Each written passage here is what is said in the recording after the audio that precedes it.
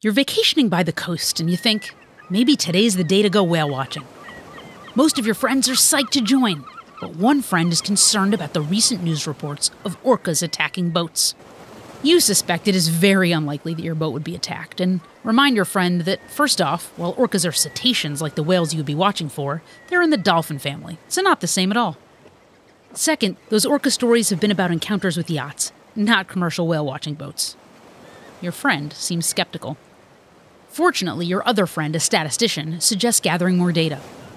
She proposes going down to the harbor and asking captains about recent cetacean attacks on the open seas.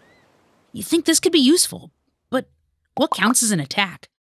Should you only ask about sinkings, which have got to be pretty rare?